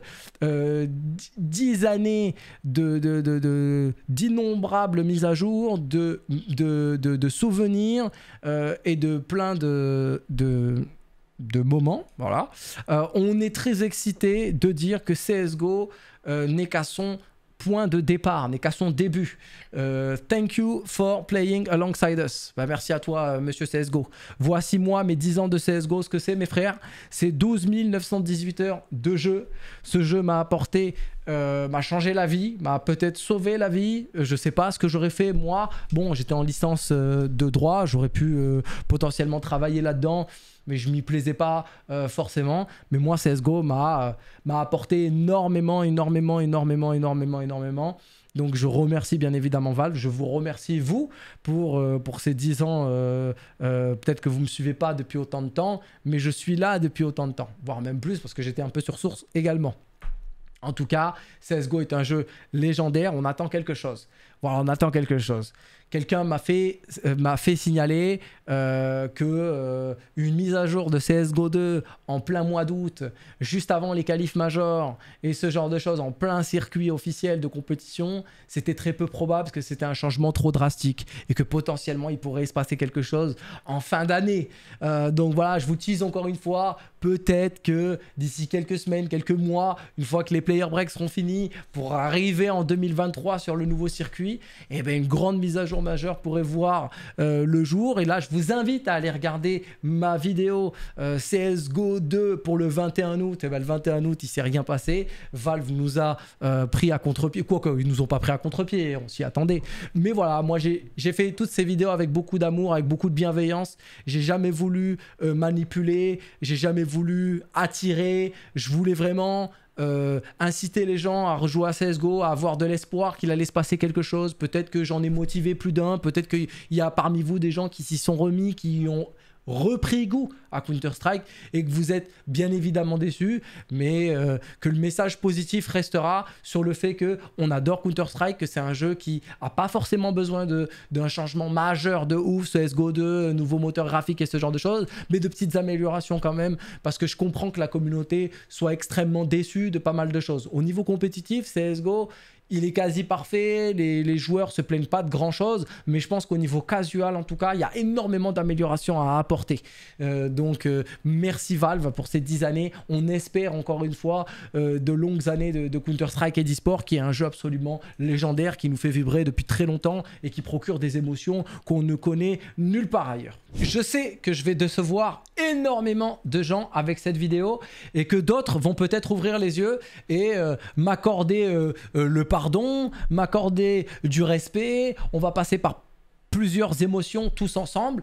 Euh, c'est avec le cœur vraiment très très lourd que je fais cette vidéo. Je vais essayer de rester le plus calme possible parce que voilà, je me fais menacer depuis euh, plusieurs années, harceler depuis plusieurs années, euh, boycott même, blacklisté partout. Et je vais vraiment expliquer énormément de choses. Peut-être pas tout, mais je vais essayer de rendre la chose la plus digeste possible et que tout le monde puisse comprendre un petit peu tout le cheminement parce qu'il y a beaucoup de choses qui se sont produites ces dernières semaines et je vais essayer d'être le plus honnête possible. Il n'y a aucune préparation dans cette vidéo, je le fais vraiment avec beaucoup de spontanéité et de sincérité, ça vous me connaissez et on va essayer donc de rétablir beaucoup beaucoup beaucoup beaucoup de choses.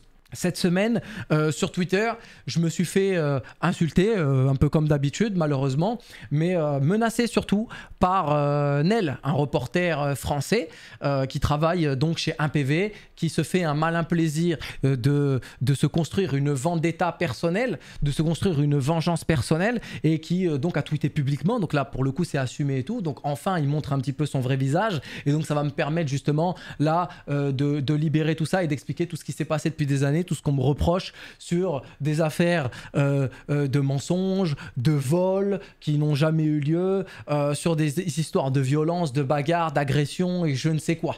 je vais absolument tout expliquer et surtout, je vais dire énormément de termes, je vais mettre encore plus de gens à dos, mais il est temps là d'arrêter de faire les autruches et d'ouvrir un petit peu les yeux et tant pis, parce que moi je suis à bout là et il va falloir vraiment que j'ouvre mon cœur et au moins je serai libéré et après ce qu'il arrivera il arrivera. je, peut-être que c'est un coup d'épée dans l'eau, peut-être que c'est un trou que je creuse pour, euh, pour m'y mettre euh, encore plus profondément. Je ne sais pas ce que ça va euh, avoir comme répercussion, mais là, moi, j'en peux absolument plus. Je suis vraiment à bout. Donc cette personne me menace, m'a menacé là publiquement, de dire qu'il allait faire un article, de dire qu'il allait faire un dossier pour montrer qui j'étais, le vrai visage de Malek, jusqu'au bout avec toutes les histoires de violence et je ne sais quoi. Donc là, c'est une vendetta personnelle on parle d'un reporter qui est censé être professionnel, qui est censé parler de Counter-Strike, qui est censé parler de compétition, mais qui en fait une vengeance personnelle et qui se fait un malin plaisir de, diffamer déjà sur pas mal de choses. Bon, attention, il y a des choses qui sont vraies, mais énormément de diffamation, de choses qui sont déformées, de choses qui sont totalement fausses aussi, de les propager euh, parmi euh, les acteurs de la scène, hein, les acteurs de la scène, parce que depuis 10 ans maintenant dans l'e-sport, il y a un blacklisting absolument phénoménal et du boycott, euh, savoir qu'en faire. Donc là, maintenant, je vais dire clairement les termes sur pas mal de choses. Je vais également dire euh, beaucoup de, de, noms et d'anecdotes qui se sont produites. Je vais avouer beaucoup de mes torts euh, également, mais je vais surtout également vous donner du contexte, essayer de justifier le pourquoi du comment et ce genre de choses. Il faut savoir qu'aujourd'hui, donc, on est en 2022 et là, c'est très très grave. On me parle de palmarès, d'usurpation d'identité avec Malek, donc le coach, l'ancien coach de chez G2, etc. Je n'ai absolument jamais usurpé l'identité de qui que ce soit. Malek, c'est mon prénom, c'est également mon euh, pseudo. Il y a des gens euh, qui veulent faire croire que je me suis fait passer pour lui ou quoi que ce soit. C'est absolument faux. Ma première LAN, c'est une gaming gen euh, sur Counter-Strike Source. Et il faut savoir que à cette LAN, par exemple, il y avait déjà des joueurs professionnels qui avaient côtoyé ce Malek, notamment. Et donc, ils m'ont vu IRL. Tu ne peux pas aller en LAN, te faire passer pour quelqu'un si ils le connaissent. Derrière, une de mes deuxièmes ou troisième LAN, euh, une PXL, je sais plus combien, 30 et quelques, euh, avec Scream, etc. notamment, avec Shox également, on était tous ensemble, avec Hacker et tout, c'est des gens qui ont joué carrément avec lui. Et moi, il m'appelait Malek par mon prénom. Je ne peux pas me faire passer pour quelqu'un si il me voit physiquement. On ne peut pas dire qu'on est lui, prendre son palmarès et ce genre de choses c'est pour vraiment vous apporter des choses qui sont totalement fausses, qu'on veut croire pour vraiment me décrédibiliser, m'humilier et faire en sorte que tout le monde me déteste pour justement euh, me boycotter, m'éteindre un petit peu ma mort médiatique. J'ai envie de dire ça comme ça, ma, mort dans la société. Il faut savoir par exemple que en 2014-2015, je sais plus, je fais une DreamHack France où je finis troisième, notamment j'ai en coach euh, Xtaz à ce moment-là, que même Xtaz croit à ces conneries euh, parce qu'il a lui-même diffamé en plein live Twitch qui est totalement illégal. Je suis allé le le, voir en DM et tout, et il m'a dit euh, c'est faux, euh, t'as vraiment euh, usurpé l'identité de quelqu'un, etc. C'est illégal ce genre. J'ai dit j'ai rien usurpé du tout. Ce mec-là, il est sur la scène depuis plus de longtemps que moi. Il connaissait ce mec-là également. Il m'a il, il coaché. Il sait très bien qui il a coaché. Il me voit physiquement. Il sait très bien que je ne suis pas lui. Deuxième chose, on me parle de palmarès et, et de je ne sais quoi. On me parle d'une liste. Je vous mettrai le tweet de toutes les LAN que j'ai faites, plus de 30, 40, 50 LAN avec des podiums, des top 1, des top 2, des top 3 sur toute la scène CSGO avec des vlogs, des vidéos de moi en LAN avec mon nom, mon prénom et tout ce qui va avec et mon visage. Le Malek, là, le Damien Marcel, n'a jamais joué à Counter-Strike Global Offensive. Jamais à la sortie de Counter-Strike Global Offensive, il ne jouait même pas au jeu. Comment j'aurais pu prendre le palmarès à des LAN que lui-même n'a jamais fait, en fait, que lui-même n'a jamais mis un pied Comment est-ce que j'aurais pu faire ça? Expliquez-moi. On me parle également de vol de PC. Je me suis déjà expliqué il y a des années sur ce que je vous explique depuis tout à l'heure, mais également sur ça. Ce n'est pas moi, c'est un joueur qui, du pseudo de MK. Voilà, il y a un article. Le mec a été viré. Tu ne peux pas voler quelque chose en LAN. Tu ne peux pas usurper l'identité de quelqu'un sans avoir de sanctions. Ce sont des choses illégales. Est-ce que vous comprenez ces choses-là? Donc, c'est juste que c'est des choses que les gens veulent croire parce qu'ils me détestent personnellement. Ils ont des vengeances personnelles à assouvir. Et donc, ils veulent creuser un trou. Moi, j'invite toutes les personnes, toi y compris, Nel, si tu veux qu'on fasse un tête-à-tête, un face-à-face, où justement on parle, on dialogue et on débat et ce genre de trucs, plutôt que d'écouter des bruits de couloir de gens qui ont une haine incommensurable à mon encontre et qui veulent vraiment me descendre à coûte que coûte parce qu'il y a eu des embrouilles avec eux. D'ailleurs, là, on va en venir. Ça, c'est une chose. Par contre, on me parle de, de bagarre. Il faut savoir que dans le monde d'Internet, dans le monde des LAN, dans le monde de- du circuit professionnel de Counter-Strike, absolument tout le monde est irrespectueux, vulgaire, grossier, provoquant. Et dans toutes les équipes, il y a eu des embrouilles. Dans toutes les équipes, il y a eu des bagarres. Et moi, le premier. Et ça, c'est mes torts, il n'y a aucun souci, je les assume. Gaming Gen, euh, Gamers Assembly, euh, Epsilon, plein de choses comme ça. J'ai eu des embrouilles avec des gens en pleine LAN, Evie notamment, une de mes premières LAN, où le mec s'amuse à insulter en pleine LAN. Espèce de machin, espèce de machin, espèce de ceci, espèce de cela. Je me lève, je m'épose dans la game, on va se voir, non, tu parles pas comme ça, ça va pas se passer comme ça, moi je suis pas ton collègue, et ceci, et ceci, et cela. Je rappelle que je parle d'une LAN qui a eu lieu en 2011, les amis. 2011 On est en 2022. Ça fait 11 ans. Ça fait 11 ans. Et aujourd'hui, bah, le monsieur est un peu puissant, le, monsieur est un peu dans le milieu, il a le bras long, il peut fermer des portes, et c'est les répercussions. Et on veut faire passer pour un mec violent, parce que c'est arrivé bien évidemment à quasiment toutes les LAN, parce que moi, je n'accepte pas ça. Les provocations, les insultes, les menaces, ça ne marche pas. On respecte absolument tout le monde. Je ne me balade pas en LAN, je suis pas un fou furieux, je suis pas un détraqué, je me balade pas en LAN et hop, je vois quelqu'un et boum, on va essayer de le tabasser, ce genre de choses. Non, non, non, non, non. Je vais vous raconter une autre histoire. Gamers Assembly 2014, il me semble. Yorek, joueur euh, euh, emblématique de la scène française, champion du monde, il me semble, avec Apex par exemple, je crois, euh, si ma mémoire est bonne. Gamers Assembly, donc, il perd un match. Il joue avec Clan Mystique, je crois, au Millennium, je sais plus. Il perd un match. Il joue avec Foxio. Foxio est un pote à moi. Je vais derrière Foxio, je me moque de lui. Voilà, c'est c'est 2014. euh, 2014. Rendez-vous compte qu'on est en 2022. Hein, je, voilà, 2014. Je me moque un peu de Foxio, etc. Là, Yorek se lève, il me pousse, il me dit Ouais, tu fais quoi là? Tu te moques de nous euh, Blablabla. Bla, Je dis Frère, pourquoi tu me touches Ouais, vas-y, casse-toi et tout le bordel. Donc, ça part en Mais pourquoi tu me touches Pourquoi Machin, ça se bouscule et ce genre de choses.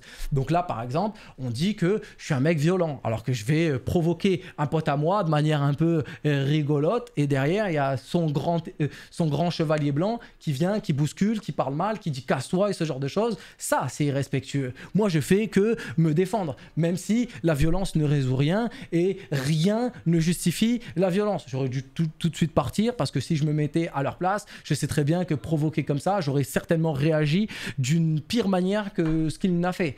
Et que euh, c'est un moment à chaud comme ça, après une défaite, tu peux pas aller te moquer des gens et ce genre de trucs. Mais c'était un truc entre potes et lui il a mal pris donc je le comprends. Euh, c'est arrivé des dizaines de fois. Il faut savoir que j'ai eu des embrouilles comme ça à quasiment toutes les LAN, tous les tournois. Parce que les gens parlent mal, parce que les gens insultent, parce que les gens menacent de fils de pute, de je sais pas quoi, je vais t'attraper à la LAN, espèce de machin, espèce de ceci, espèce de cela. Pareil, SLE 2015-2016, euh, Robin Asti, on est coéquipiers, euh, ça, il, parle mal de fou sur le TeamSpeak. Rendez-vous compte que c'est des histoires de gamins, de malades. Hein. Il parle mal de fou sur le TeamSpeak et tout. Donc on split l'équipe et ce genre de choses. Et il me dit, ah vas-y, euh, j'ai dit, tu sais quoi, on va se voir. J'étais au grand qu'on va se voir. T'es là, t'insultes, tu menaces et tout. Il me dit, ah ben je m'en fous, on se verra, il y a pas de souci. Moi je fais du jujitsu, moi je fais du krav maga, je fais t'éteindre, blablabla, blablabla, blablabla. Bah, on s'est vu à la SLE. À la SLE, au, moment, parce qu'on s'est pas vu à la SLE, ça, tous ces trucs-là, en général, se sont passés sur des parkings, se sont passés à des hôtels, aux alentours des tournois et ce genre de choses. Ça a toujours été dans des cas un petit peu isolés, ce genre de trucs. Et ce mec-là, bah, je l'ai attrapé, on s'est bagarré, euh, j'en suis pas fier. Mais ce mec-là, ben voilà, que voulez-vous que je vous dise? C'est le meilleur ami de justement Nel, c'est le meilleur ami de plein de gens dans le milieu et ce genre de choses. Et aujourd'hui, on me fait passer pour un agresseur, on me fait passer pour un mec violent qui prend, qui regarde les gens dans la rue, hop, je croise un mec, boum, on va se taper et ce genre de choses. Il n'y a pas de ça, je fais pas ça, je suis pas un mec violent, je suis anti-violence.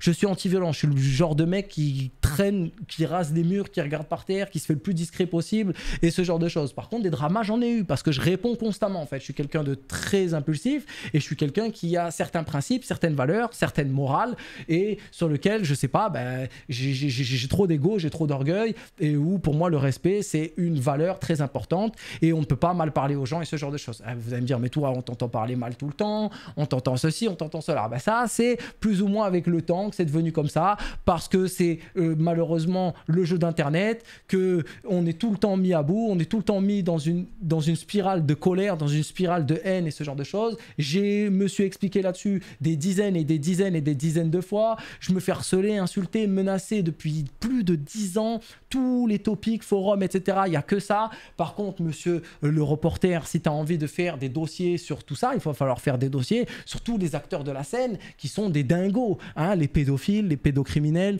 les violeurs, les mecs qui abusent des meufs mineures, les mecs qui, euh, prennent des drogues de fous malades, euh, qui font des dingueries. Parlons également des gens qui font des swatting, des Parlons euh, de mes hacks de compte qui ont été publiés sur des sites publics, qui ont été laissés pendant plus de 24 heures pour bien qu'on voit mes comptes en banque, mes comptes Gmail, mes comptes euh, des contrats et tout, tout a été leak et tout publiquement et tout, et que c'est des acteurs du subtop, c'est des, des, joueurs professionnels que vous payez, que vous payez en consulting, qui viennent sur vos desks et que vous, et que, et que vous laissez parce que c'est vos potos, parce que vous faites des soirées avec eux et que vous êtes copains avec eux, parce que vous avez des bifs personnels. Et ça, on n'en parle pas, parce que les gars, quand je me suis fait soigner c'est pas un guignol de la communauté d'internet qui a appelé et qui a fait ça. Le mec qui a swatté, qui, connaissait mon adresse, c'est des mecs du subtop. C'est juste que je ne peux pas dévoiler leur information privée et leur identité parce que c'est aller au tribunal, c'est aller chez le procureur et tout le bordel. le procureur, il m'a dit attention, pas de représailles, sinon ça va tomber sur toi, euh, monsieur, monsieur Benouya Marek. Donc venez, on parle de, menaces chez ma mère qui reçoit des, des téléphones pendant des années, qu'on a dû déménager plusieurs fois. Ça, j'ai jamais dit. Venez, on parle également des admins de tournois. Venons, on parle des admins de tournois qui font des tirages truqués, qui facilitent euh, des arbres pour certains et pas pour d'autres, avec qui justement j'ai eu des bifs. J'ai dit, mais c'est quoi cet arbre et tout? Faut retirer, on n'est pas si de ça. On a gagné 2, 3, 4 tournois juste avant. On a fait deuxième, troisième à ces tournois-là. Comment on peut être 6 de 8 Nous, on a un arbre de ouf et vos potes, bizarrement, ils ont un arbre de machin. Bizarrement, j'ai gagné les tournois, j'ai fait top 2, top 3. On m'a demandé euh, mon RIB, on m'a demandé ma carte d'identité le dimanche, parce que le tournoi, bah, c'est vendredi, samedi, dimanche. Bizarrement, le lundi ou le mardi, j'ai ma carte d'identité qui est sur des sites internet. Bizarrement, j'ai ma carte d'identité plus mon RIB qui est sur Vacarme en photo. Et après, on connaît mon nom, mon prénom, mon adresse, mes comptes et ce genre de choses. Venez, on parle de tout ça. Parce que moi, ça, j'ai jamais dit. Donc pourquoi vous croyez que j'ai du ressentiment? Pourquoi vous croyez que j'ai de la rancune? Pourquoi vous croyez qu'il y a des mecs de la scène et tout qui sont potes avec des gens avec qui j'ai eu des bifs, des vrais mecs du jeu, des professionnels qui sont des énormes gamins, qui font des swatting, qui font des DDoS, qui parlent dans le dos, qui appellent tes parents, qui envoient des trucs de qui leak tes comptes mail, qui font des montages de machin, de ceci, de ça, qui te provoquent pour te mettre dans la merde, pour faire ternir ta réputation, pour que tu sois éteint. Parce que moi, ça fait 10 ans que c'est boycott, ça fait 10 ans que c'est blacklist, ça fait 10 ans qu'il n'y a pas un sponsor, ça fait 10 ans qu'on est éteint partout. Zerator me déteste, Gotaga me déteste. Il y a tous les mecs qui me détestent. Ils m'ont jamais vu, ils m'ont jamais côtoyé. Gotaga, je l'ai croisé une fois à une Paris Games Week. Ça a été pas la meilleure rencontre de ma vie, mais on a parlé, c'était cool de ouf, c'était chill, on a échangé de ouf. Bon gars, super gars. Derrière, il y a eu Valorant, donc il s'est un peu mélangé avec la scène de CS. Le mec blacklist, ban word sur son chat, t'écrivais mal avec sur son chat, t'étais blacklist. Organisation de tournois de Dwagby, etc.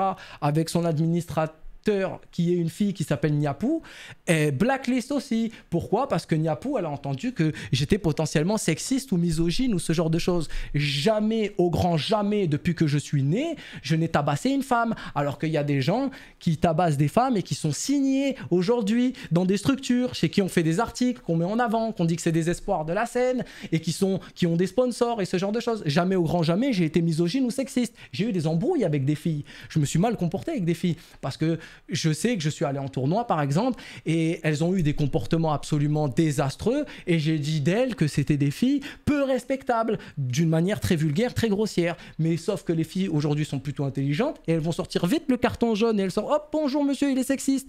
Non non, non, ça n'a rien à voir avec du sexisme. Quand je dis à un garçon qui se comporte mal que c'est une merde, c'est factuel. Quand je dis à une fille qui s'est mal comportée, c'est au- aussi factuel. C'est juste que derrière, ben, on sort les cartes euh, de défense euh, aujourd'hui et c'est ça, c'est comme ça que ça se passe. Donc par exemple, j'ai la communauté des filles aussi qui me déteste alors que je n'ai jamais, jamais, jamais, jamais, jamais, jamais, jamais eu de mauvais comportement vers elles. Il y en a qu'une seule avec qui je me suis mal comporté et c'était un, un truc d'ego, c'était un truc vraiment personnel. C'était avec Lalita, donc c'était euh, la femme, l'ex- l'ex-compagne de Existence et je lui présente mes excuses. Je lui ai déjà présenté mes excuses. Je, l'ai fait personnellement et je regrette terriblement ce que j'ai fait parce que c'est des histoires qui ne me regardaient pas forcément, euh, qui, qui- pas, pas, pas, pas forcément, qui ne me regardaient absolument pas. J'ai pas à m'en mêler. C'est des histoires entre eux et c'est tout. C'est juste qu'après, vous savez, quand on est dans, le- microcosme, quand on est dans l'écosystème, c'est les on dit, on traîne sur les TeamSpeak. Ah, lui, il a fait ci, elle, elle a fait ça. C'est les gossips, quoi. On est dans ce truc-là. C'est comme la télé-réalité. On devient fou, on n'est plus nous-mêmes. On parle des gens alors qu'on s'en fiche de leur vie. On commande des trucs qui font du mal à des gens alors qu'on s'en fiche totalement de leur vie. Comme eux, ils doivent certainement peut-être regretter du mal qu'ils m'ont fait alors que je leur ai jamais rien fait, ce genre de choses. Surtout que Lalita, par exemple, pour le coup, c'est une amie. C'est quelqu'un que j'apprécie depuis des années. On se connaît depuis plus de 15 ans. Et je regrette terriblement notre relation parce que je me suis mal comporté avec elle. Mais ça, c'est factuel. D'accord? Et ça s'est passé potentiellement en 2015-2016. On est en 2022. Et elle-même, on s'est pardonné, on s'est reparlé, il n'y a pas de souci. Mais aujourd'hui, aujourd'hui, c'est moi encore qui paye. C'est moi encore qui paye. Donc, arrêtez de protéger les violeurs avec qui vous travaillez, des mecs qui sont patrons, de, qui sont producteurs, qui sont assistants coach, qui sont euh, directeurs général e-sport, de clubs qui lèvent des, des- millions, qui sont dans les top 3 des clubs de France, avec des pédophiles, des détraqués sexuels, des mecs qui se font passer pour des managers, des agents de- de- de- d'influenceurs, de, streamers, de youtubeurs, de, de joueurs pro pour profiter euh, d'avoir une position pour essayer de euh, leur faire faire euh, des nus, des trucs avec des meufs et tout le bordel pour après essayer de les gérer et tout. Arrêtez de protéger ces gens-là parce que vous mangez du bif avec eux et que c'est vos partenaires de business. Et essayez de me lâcher un petit peu la grappe parce que moi, c'est des histoires qui datent d'il y a 10 ans, 12 ans et tout, où des mecs m'ont provoqué, des mecs m'ont menacé, des mecs m'ont insulté, m'ont dit Ah, on va se voir en LAN, on va faire ci, on va faire ça, go bagarre, pas ceci, pas cela. Le monde a changé, il n'y a pas de souci. Aujourd'hui, c'est l'image, aujourd'hui, c'est le marketing. Il faut avoir des responsabilités, il faut parler d'une certaine manière, il faut se comporter d'une certaine manière, il faut éviter certains sujets pour pas essayer, pour essayer justement de ne pas être clivant, pour essayer de ne pas diviser les communautés. J'ai été violent, je l'assume. Je me suis battu des dizaines de fois. Je vous ai raconté quoi? Deux, trois histoires de bagarre. Je peux vous en raconter des dizaines en fait. Mais ça a toujours été avec des gens qui ont mal parlé. Ça a toujours été avec des gens qui m'ont dit on va se voir à la LAN. Et vous savez que c'est des comportements réels. Vous savez très bien qu'il n'y a personne dans ce monde-là qui se balade dans la rue et qui va et qui tape des gens. C'est impossible. Tu peux pas arriver en LAN avec 1000 personnes au tournoi, des administrateurs, des staffs, des, des mecs de la sécurité, des organisateurs de tournois et ce genre de choses, te balader et être le caïd et frapper les gens. C'est impossible. La loi du respect te rattrapera toujours et je me serais fait moulonner. Je me serais fait moulonner si je m'étais comporté comme ça. Vous le savez très bien. Par contre, les petits, les petits guignols qui soignent leur image, qui sont tout propres et tout, et qui parlent bien, qui mettent une petite cravate, un petit col blanc, et qui bluffent tout le monde, et que c'est des grandes fraudes parce qu'ils n'ont jamais rien fait, rien accompli, pas une lane, rien du tout, et qui derrière font des coups de Trafalgar de malades en privé, dans, qui veulent vraiment éteindre des gens parce qu'ils savent, nous, on connaît la vérité sur eux, etc. Mais il n'y a personne. Et vous allez me dire, mais alors pourquoi des gens te protègent pas?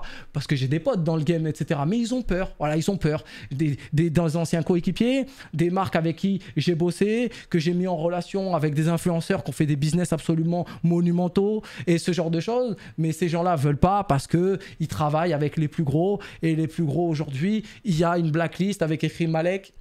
C'est mort c'est mort, c'est mort, c'est mort, c'est mort. Donc moi je paye, j'ai des répercussions sur tout ce que j'ai fait.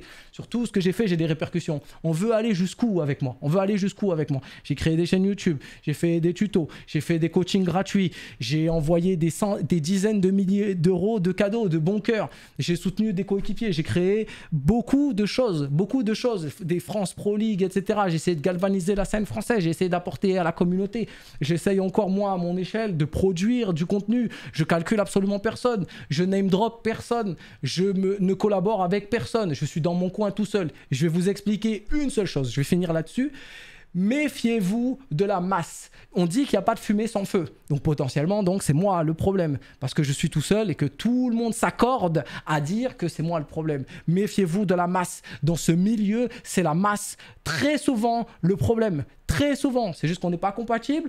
Il y a l'eau, il y a l'huile. C'est des gens, c'est des détraqués, c'est des prédateurs, c'est des gens vicieux, c'est des gens ambitieux. C'est l'école de la politique, c'est des gens qui veulent grinder, qui veulent de l'argent.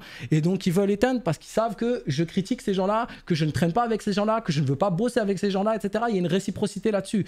On n'est pas pareil, on vient pas des mêmes choses et vous allez tomber sur un os. Il y a des gens qui vont ouvrir les yeux, il y a des gens qui vont arrêter de bosser avec vous, il y a des gens qui vont vous éteindre. Vous allez tomber sur des gens qui ont une bonne mentale, qui sont des gens bien élevés, bien éduqués, qui ont des nerfs solides, qui vont aller droit dans leurs convictions et vous allez payer les pots cassés. Moi, ça fait 10 ans, les gars, que je souffre. Ça fait plus de 10 ans que je souffre. Et je suis tous les jours là à me lever, à faire mes vidéos, à faire mon travail, à me battre en LAN sans aucun souci. Les LAN que j'ai gagnés, les LAN que j'ai faites, les joueurs que j'ai formés, vous n'allez pas me les enlever, les gars. C'est archivé, ça a été fait, que vous le vouliez ou non que vous le vouliez ou non. Je vais vous raconter une anecdote pour que vous compreniez encore quelque chose. Epsilon 10, Epsilon 11 ou Epsilon 12, je ne sais plus laquelle. Celle où je participe avec Epsilon, je perds en finale contre... Euh, non, je gagne euh, la, grande, la, finale lower contre euh. Toute la LAN, on a des matchs de poule, etc. Un PV a refusé de streamer nos matchs de poule. Un PV a, streamé, a refusé de streamer nos matchs de poule parce qu'il m'apprécie pas. Voilà, on ne s'aime pas, il ne m'aime pas, je ne sais pas pourquoi je les aime pas, ils ne savent pas pourquoi je... voilà, je, je ne sais pas, ils ne savent très certainement pas non plus. Ils ne veulent pas, ils refusent de streamer mes matchs. Bah moi, je suis allé voir le, président et j'ai dit bah ils veulent pas streamer nos matchs, y a pas de souci. Y a aucun problème. On prend parce qu'ils pensaient qu'on allait partir des poules et au final on fait quart de finale, demi-finale, on va en finale et là en finale bah, c'est match sur scène, il n'y a plus qu'un match à streamer, c'est le nôtre. Bah là j'ai dit bah je refuse. Vous voulez pas streamer notre match des poules, bah moi je veux pas que vous streamiez notre finale. Et donc là après le propriétaire, le président de la LAN, c'est Flo, c'est Ouned. J'espère que euh, va très bien me dit Malek, après tout ce que j'ai fait pour toi toutes ces années, toutes les embrouilles qu'il y a eu, etc., et que je t'ai pas justement banni des LAN, parce que je me suis battu justement à une, Epsilon et tout, et il y a un jour aussi où j'étais très pauvre, c'était tous les débuts et tout, j'étais dehors, et ce mec-là m'a offert, euh, m'a offert le toit. Donc moi ça, j'oublierai jamais je l'embrasse très très fort. Et il vient me voir, il me serre dans les bras, il me dit Malek, tu peux pas faire ça, fais, pas ça pour moi. Tu vas y aller, tu vas faire des photos euh, comme ça et tout le bordel pour que leur production puisse t'afficher et tout le bordel. Fais cette finale s'il te plaît. J'étais dans un mood comme ça dans la finale et au final ils m'ont streamé la finale. Mais voilà, à la base ils avaient refusé de, streamer tout le tournoi sur nous sauf qu'après bah, ils ont été obligés de le faire. Mais euh, pareil, avec des commentateurs euh, plutôt virulents, plutôt pas justes. dès que tu rates une flash, dès que tu rates un smoke, dès que tu fais un spray dégueulasse, ils te descendent. Dès que c'est leur pote et tout qui joue, boum, il est là le bif. À la base, il est là le bif. C'est de l'ego, c'est de l'orgueil, c'est du truc de merde. Et là, je vous parle d'une LAN qui a eu lieu peut-être en 2016, qui a eu peut-être lieu en 2016 ou en 2017. Donc euh, ça fait déjà 5 ans. Donc moi, le boycott, je connais, le blacklisting, je connais. Vous ne savez pas pourquoi, euh, vous m'aimez pas. Eux-mêmes savent pas forcément pourquoi ils ne m'aiment pas. Moi, j'assume tout. J'assume tout. Vous voulez m'éteindre depuis 10 ans? Là, moi, je souffre, j'en peux plus. Il faut que les gens voient un petit peu qui vous êtes. Il faut que les gens voient qui vous êtes. Moi, ce genre de gens, je respecte pas eux me respectent pas, moi, la personne que je suis, parce que c'est pas des codes avec lesquels ils ont grandi. Moi, je respecte pas vous avec les codes avec lesquels vous avez grandi. C'est tout. Vous discriminez, on fait la même chose. C'est aussi simple que ça. Parce que moi, je suis indépendant et je reste même pas avec vous, je mange même pas avec vous, j'en ai rien à faire. Mais au bout d'un moment, tu veux sortir tes articles, tu veux faire tes trucs, fais-les jusqu'au bout. Et tu vas faire les articles sur tous les joueurs de la scène et tous les mecs. Parce que c'est quoi ça? C'est Counter-Strike ou c'est quoi? C'est Paris Match? C'est quoi? C'est c'est TPMP On va où là? On fait des, des gossips, nous, un peu? Donc là, c'est bon, faut arrêter, faut commencer à se calmer, il va falloir assumer. Et tous les trucs de pédophiles et tout le bordel, je suis en train de récolter des témoignages, je suis en train d'essayer de demander à des filles de, de, de, l'assumer publiquement et tout le bordel, qu'elles ont été abusées, qu'elles ont été manipulées. Et si ça, je sortirai, je le sortirai aussi, il n'y a aucun souci là-dessus. Parce qu'il y a des gens aussi, vous êtes là en mode, pourquoi tu dis pas qui, quoi, comment, quand, pourquoi? Si les filles ne veulent pas dire, si les victimes ne veulent pas dire, si les gens ferment leur gueule et qu'il n'y a pas de témoignage, il n'y a pas de, de, de- preuves, derrière les mecs ils t'attaquent pour diffamation et c'est ta parole contre la sienne. Et c'est le jeu dans lequel, c'est leur jeu d'échecs, c'est des masters, c'est ça, c'est des, des masters de leur truc en fait. Ça c'est des codes dans lesquels j'ai jamais grandi, je connais pas ça. Moi quelqu'un, je viens, je parle, on règle les histoires très vite, c'est tout. On se serre la main, on va boire après un coca et il n'y a plus d'histoire. Ça, c'est pas des gens comme ça. Ça, c'est des gens, ils te serrent la main, ils te disent non, il n'y a pas de bif. Et derrière, il t'éteint de partout. Il va voir le producteur là-bas, il va voir le producteur là-bas, il va voir le gérant de l'émission là-bas, il va voir telle entité là-bas, telle agence là-bas. Eh, lui, c'est fini, hein, vous l'invitez plus. hein. C'est ça, euh, ces gens-là qui font. Et c'est pas grave. Moi, j'ai ma chaîne, j'ai mes trucs, je fais mon travail tout seul. Je fais mon travail tout seul. Fais tes articles, va jusqu'au bout. Que Dieu nous guide. Que Dieu nous guide, mon ami. Après, euh, on verra.